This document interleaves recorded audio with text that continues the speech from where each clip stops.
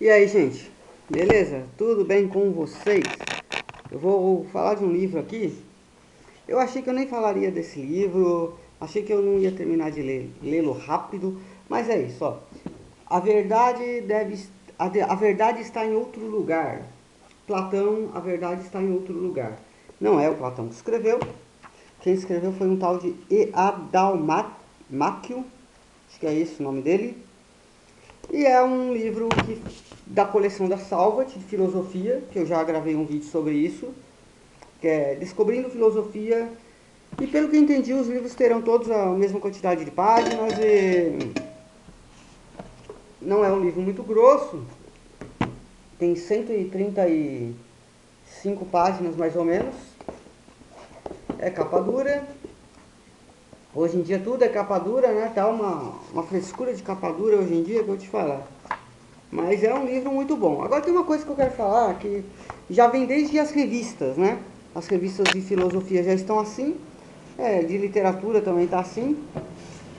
Que é o seguinte, você tem a, o livro acontecendo e de repente o livro se interrompe, a, a narrativa se interrompe, eles colocam um anexo aqui daí fala sobre essa coisa, desse anexo, e depois continua aquela, aquele texto que já estava tendo, continua. Que falam que esse é um estilo de, de texto mais interativo, por causa de afetado por causa da internet, sabe aquele negócio que a nossa atenção não se. Pre... Nossa, não, né? Que a atenção das pessoas não se prende muito e elas estão lendo uma coisa, daí interrompe, vai ver outra coisa, daí volta. Então eles usam essa filosofia nos, na, nas revistas. Só que estão encaixando agora também nos livros, né? Eu particularmente não gosto disso, eu gosto de ter o texto que vai do começo ao fim que fala sobre alguma coisa. Daí depois eu vou ler esse, esse, esse a mais, essa coisa que está lá. Mas é claro, isso é, uma, é, uma, é mais uma crítica ao, ao tipo de, de como se apresenta o texto hoje do que necessariamente sobre esse livro. Porque esse livro é, ele é maravilhoso, sabe? Platão, ele foi... É uma, é uma figura muito interessante, sabe? O, o Platão, ele tem algumas coisas de, de, hipocrisia na vida dele, né? Um cara que fala sobre honestidade, sobre a verdade, sobre essência, sobre esse tipo de coisa. Quando ele morreu, parece que a academia lá passou pro sobrinho dele, né? Ou seja, o cara que fala tanto de honestidade, tem um nepotismo aí, né? Acontecendo, né? E um cara que fala sobre tudo, sempre sobre essência, de ser é, de, em busca da verdade e de, sei lá, esse tipo de coisa de repente é um cara que usa fake, porque o nome dele nem é Platão. Esqueci qual é o nome do cara, do, do, do filósofo, não é Platão. Sei lá. Não vai ter aqui. É, mas eu não vou achar agora. Mas é, tem essa, essa questão, sabe? Eu achei muito interessante isso, né? E tem essa. Esse livro é muito bom, realmente, sabe? E tem uma questão aqui que fala sobre como saber se as ideias do Platão são do Platão mesmo. Porque primeiro que tem essa questão de Sócrates, né? Tem essa polêmica, Sócrates existiu, não existiu, não sei o quê, beleza, é a figura histórica aí que aconteceu, porque o Sócrates não deixou obras, não escreveu obras, né? Daí a gente conhece o Sócrates através das obras das pessoas, dos filósofos ao redor que fizeram suas obras e, coloca, e se utilizaram do Sócrates como um personagem. Aí fica duas dúvidas para a gente, né? O Platão, ele estava escrevendo as ideias dele, colocando as ideias dele na boca de Sócrates, ou ele era tipo um ghostwriter, sabe? Tava transcrevendo apenas as ideias do Sócrates na, nas obras. Fica essa dúvida para as pessoas é, pensarem sobre isso, né? Todo mundo gosta de polêmica, todo mundo gosta de falar, ah, isso não existiu, ah, isso é mentira, não sei o quê, tem uma aranha aqui na água. E tem um pequeno aquário para bichos artificiais. Nossa, um aquário para bichos artificiais. Aonde nós chegamos, né? Isso é muito Philip K. Dick, sabe? Um aquário para animais artificiais. O que, eu sinto quando eu olho esse aquário, né? Vamos pensar, o que, eu sinto quando eu olho esse aquário? Será que é alguma simpatia, alguma empatia por esses bichos artificiais? São bichos de espuma que é. Voltando, né, tem essa questão de Sócrates e do Platão que envolve, que é muito interessante, sabe? Mas tem uma coisa muito interessante, o Platão ele gosta muito de falar sobre a verdade, a essência, e essa, esse tipo de coisa foi o que eu achei de mais bonito no, no, no, no Platão, sabe? realmente ele foi um cara que foi um dos primeiros, se não o primeiro, não sei, a criar uma. para poder falar de essência sobre verdade, se é fácil descobrir a verdade ou não. Ele foi um dos primeiros que não achou outra saída senão criar uma filosofia ao redor de uma dualidade de, do corpo fora do, da alma, fora do corpo, etc. Porque para ele, tipo, a realidade é assim, né? Você tem que chegar no, naquela essência para você conhecer essa realidade, né? Tem aquele negócio da caverna tudo mais, todo mundo já conhece, que já não precisa falar, né? É, só que essa questão é muito difícil, porque primeiro que você é uma pessoa muito tendenciosa pela sua vida, pela sua vivência, pelas suas opiniões, e a própria, não sei se é biologia que fala, tipo, os nossos olhos, né? Nós não temos todos os sentidos extremamente apurados. É, então, tudo que você vai olhar, você vai ver uma, uma, uma imagem, você vai ver um formato daquilo lá, e pode ser que você não atinja essa verdade, essa coisa que está aí. Ele usa de exemplo, por exemplo, né, sendo redundante, as mesas, né? Existem mesas de, de todos os tipos, né? Mesa grande, não estou falando do, do Platão, né? Quem dá esse exemplo é o autor desse livro, para explicar a ideia do Platão, né? Existem mesas, mesas de todos os tipos. Tem mesas escolares, tem mesas de escritório, tem mesas com quatro pernas, tem mesas com uma perna só no meio, mas que consegue suportar aquilo. Ou seja, tu, o que você está olhando é uma coisa falsa. Porque as mesas é, é, são todas assim, sabe? Diferentes. Só que ele está falando que nós precisamos entrar na, na, essência da coisa. O que é a essência da mesa? Sabe? O que é a verdade por trás disso? Pode ser, talvez, não sei, né? Aqui, averiguando tudo mais, né? Não sei. Que seja hum, a sutilidade. Não sei. É, colocar coisas, né? Não sei. Você pode colocar, você pode sentar, então. Sabe? Tem uma questão do fazer algo através de nada, né? É, tipo, você não pode fazer o que existe. É porque o que existe já está aí, já foi feito, né? Sei lá como. Então você vai fazer algo que não existe, né? É, é muito interessante isso, sabe? É, é, de surtar esse tipo de coisa. Eu gostei bastante disso, sabe? É, eu ia dar um outro exemplo que ele usa bem aqui, mas é, me escapou da cabeça agora. Então ele usa essa dualidade do, do corpo e da alma. Realmente, nesse negócio da alma, ele acredita sim no, em alguma coisa a mais, talvez ele não sabe explicar direito, mas ele acredita que, que, tem uma alma e corpo são coisas separadas, e ele acha que tipo, quando você sai do seu corpo, você, você morre, né? Você está liberto de todas essas limitações, essas adulterações, né? essas coisas tendenciosas que a gente tem, daí sim você pode tocar a essência de uma coisa, a ideia de alguma coisa, né? Você pode conhecer realmente a verdade, né? Isso eu posso, posso até concordar com isso, mas daí fica essa, essa, essa dualidade que fica, que é muito forte, porque assim, ou a verdade ela é inalcançada, inalcançável pra gente, ou a verdade você só vai descobrir quando você morre, só quando você morre não é uma certeza, né?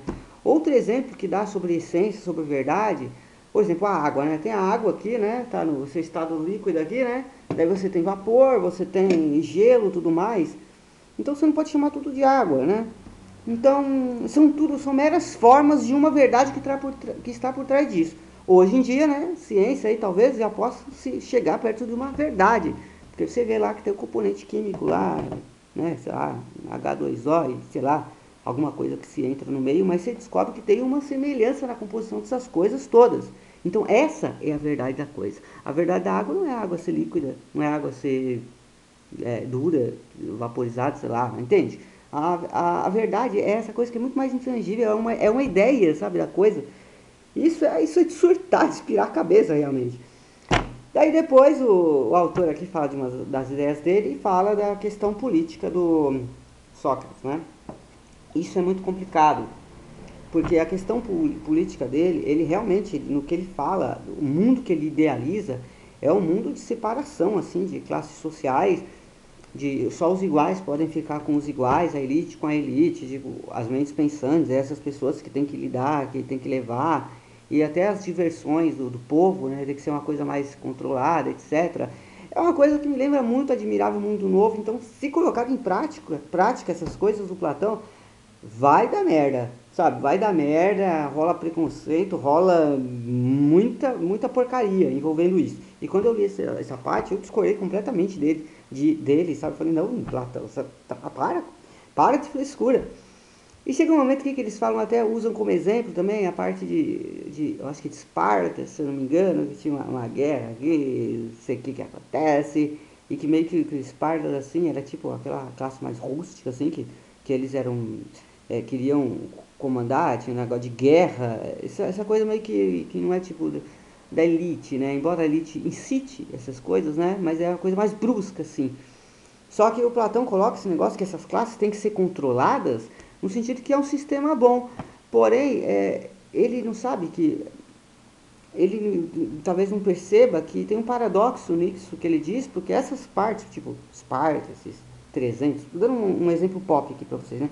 300 e tudo mais, apesar de ser assim, também são classes militarizadas com forte controle, sabe? Os que nascem mais é, com, com deficiências ou, ou necessidades especiais, essas pessoas são renegadas, são jogadas para escanteio, são um transtorno para a sociedade. E é a mesma coisa que, que o Platão fala no sentido dessa sociedade dele perfeita, porque ele acha que as pessoas perfeitas têm que ficar com as pessoas perfeitas. Ou seja, não se distancia muito da filosofia de vida, daquilo que ele critica. Isso é muito interessante, sabe? Tem um momento aqui que ele, o autor faz uma comparação sobre verdade, né? Eu falei um pouquinho da política aqui, que eu não concordo com ele. Ele, que o autor fala um pouquinho da verdade, usando como a ideia sendo a verdade, sendo a beleza da coisa a ser alcançada, a ser entendida, né? E que eu gostei muito que ele cita dois filmes, o Independence Day e o Blade Runner, que ele fala que o Independence Day é aquela, é a, tudo é forma, né? Tudo é forma. Daí o Independence Day é aquela forma que está lá, daí quando você vai alcançar uma verdade por trás daquilo, o que que tem, né? Tem apenas uma guerra de alienígenas com humanos e discursos patrióticos gratuitos lá. Mas você não pega um questionamento, uma verdade, uma essência que está por trás daquilo. Já o Blade Runner, o autor, um do autor, né? Tem a forma, tem a forma, né? Aquele mundo futurista e tudo mais que acontece lá, né? Que é, que é bonito até, né? É, mas longe daquilo, quando você analisa, você encontra uma essência, você encontra uma verdade. Tem discussões sobre o que é o ser humano, sobre o que é a vida, sobre a morte, sobre diversas coisas, sabe? Então, ou seja, né, ele querendo ou não, ele fez uma crítica literária baseada num assunto sobre verdade, sobre, sobre aparências, que do Platão. Eu achei isso incrível nesse livro, sabe? É uma coleção que eu não estava querendo fazer, mas eu não sei se eu vou continuar fazendo, é porque é complicado. É para ver como o tamanho de uma obra, né? É, não quer dizer nada na qualidade de uma obra, porque isso aqui é 130 páginas, mas foi, é assim, você tem que ler com muita atenção, porque tem momentos que você percebe que o autor faz um milagre para explicar as coisas do, do Platão, que são coisas um pouco complexas, e ele tenta pegar uns exemplos mais pop. Eu falei de raros exemplos pop que tem aqui, porque realmente os exemplos que ele dão são mais hardcore, são mais pontuais, específicos do dilema que o Platão está tentando atingir, né? E é legal essa, esse, esse, esse negócio do, do, Platão aqui, me envolveu bastante isso, sabe? Eu terminei, sabe quando você termina com uma coisa, sua cabeça está fervilhando? Foi assim que eu terminei, eu terminei às 3 horas da madrugada. Eu passei a tarde de sábado lendo isso porque eu não conseguia parar e, e você fica pensando sobre a vida. E eu vou te falar que a, que a filosofia só tem a engrandecer a arte, a, a literatura, tudo mais. É, porque te dá conteúdo, te dá sensibilidade, sabe? É conhecer o mundo. Essa coleção, então, tá de parabéns aqui. Putz, é, eu não imaginava que fosse tão delicioso ler uma coisa dessa, sabe? Tanto que eu terminei, hoje de manhã eu já estava fervilhando minha mente, fui lá e escrevi um segundo capítulo de uma novela que eu estou tentando que estava enroscada. É, eu, tô, eu, fiz um capítulo todo baseado assim nessa questão da essência da verdade, só que eu gosto de coisas surreais, né? Então eu misturei umas, umas loucuras lá no meio para poder falar da, né, mutação da realidade, da, da, mutação das formas, né, dessa dualidade. Platão tem a dualidade que sempre é o, a forma lá, a essência, a verdade, o bem o mal, o, o, o, o belo, o feio, etc. A sociedade dele é 8 ou 80, putz, sabe? É uma figura impressionante. Tem coisas a se admirar nele que são poéticas. Provavelmente essas coisas, filosofias de verdade, dualidade, deram uma origem aí a, a muita coisa do cristianismo, tudo mais interessante ver da onde surgem essas coisas, né? E, e é isso, gente. Falou, falei animado de um livro de filosofia aqui, mas é isso. Eu sei que muita gente não vai seguir conselho de ler livro de filosofia, mas é isso. Então. Falou, até mais. Tchau.